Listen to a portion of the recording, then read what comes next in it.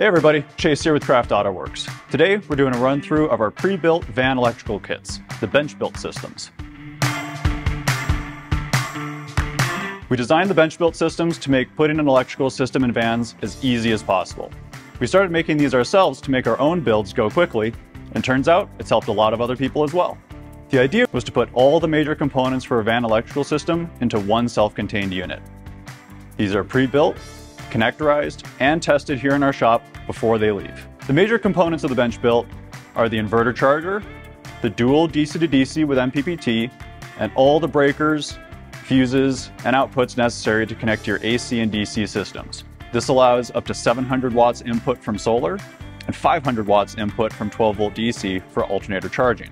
We even included a Victron battery monitor to keep track of your system via the built-in display or via Bluetooth. We built these kits into a T-slot aluminum structure, making them as compact as possible. They're also very easy to mount with the built-in feet. We have two different bench built kits, our 2000 watt and our 3000 watt. The only difference between these two is actually just the inverter charger. All the other components, the DC system, fuses, breakers, everything else is identical. The 2000 watt system is 24 by 10 by 12, and the 3000 watt system is 26 by 10 by 12. One thing you may notice is that the batteries are not connected to the system, and that's on purpose. A lot of other products on the market have an all-in-one style build, with all the electrical components and the batteries built into one huge case. Sometimes these require at least multiple people to install, if not a forklift. By keeping the batteries separate from the unit, keeps them as light as possible. These can easily be installed by one person. The front of the bench built features all the major components necessary to control the system and keep an eye on it.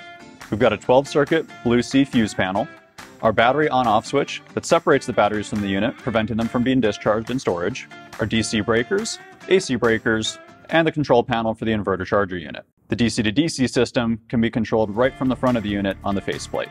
With the unique design we've used in these systems, our pricing comes in at a fraction of the cost of many of our competitors.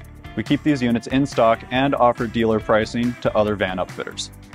So here we can see an example of one of our bench built systems installed into a van that we're finishing up right now. As you can see, we've got the kit separate from the batteries, connected via the included cabling.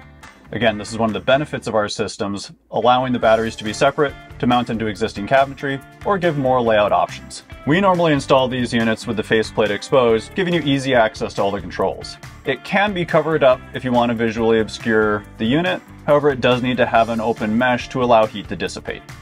For battery banks, any 12 volt system will work. It does have to be 12 volt though, and our systems do not currently work with 24 or 48 volt setups.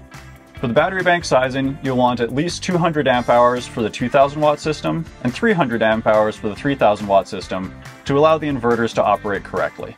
Although we recommend using lithium batteries for all of our installs, the settings can be configured to work with lead acid or AGM cell chemistries. If you'd like to learn more about our bench built systems or place an order, contact us at craftautoworks.com.